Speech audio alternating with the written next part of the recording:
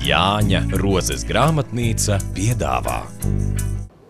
Umberto Eko romāns Prāgas kapsēta ir viena no grāmatām, ko pērk, lasa un apspriež visā pasaulē.